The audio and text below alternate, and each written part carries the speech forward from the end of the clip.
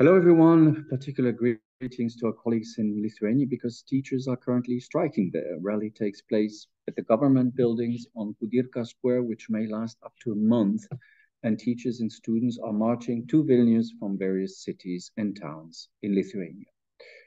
The Lithuanian Education Employees Trade Union, LEETU, is organizing the strike after failing to reach an agreement with the Education, Science and Sports Ministry on teachers' working conditions. And as far as I know, Andrius Navickas, president of LEETU, waits for a proposal from the ministry that will be acceptable for both sides. Now, what does LEETU want? I think they want to draw attention to the very poor state of education, the shortage of teachers, and the not favorable working conditions for teachers. The three main demands of the strike are fair teacher salaries, smaller class sizes, and a revision of the according to LEETU, flawed job position payment scheme.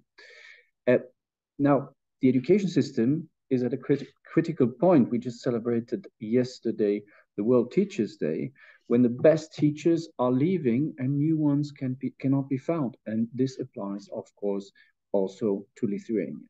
And that means there's a real threat to the country and to the future uh, of the Lithuanian children.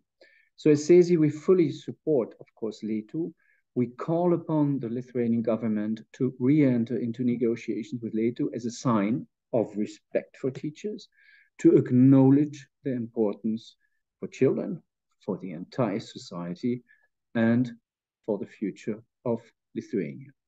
Thank you very much, and good luck to the colleagues in Lithuania.